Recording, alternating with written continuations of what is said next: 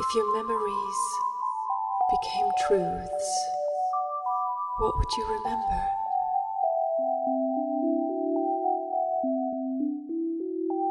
And your spirit, if your spirit were a fire, what could contain it?